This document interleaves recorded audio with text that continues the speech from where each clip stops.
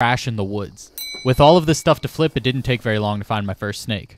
This little guy is a northern ringneck snake. In general, they're pretty harmless and don't often bite. They eat things like insects, earthworms, and salamanders. The next thing I flipped was this piece of plywood. And underneath was this DeKay's brown snake. They eat soft body prey items, things like slugs and earthworms. I then found another snake under another piece of plywood. This eastern garter snake is pretty chunky, which leads me to believe that she may be gravid or holding eggs. But I guess you could also say pregnant because garter snakes give life birth.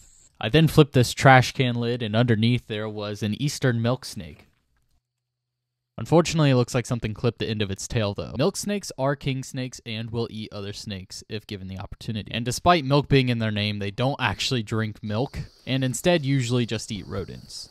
Out of the corner of my eye, I spotted something slithering over a piece of metal, so I went in for the catch. This is a baby northern water snake. They aren't venomous, but they are incredibly defensive. But surprisingly, this snake didn't try to bite me a single time.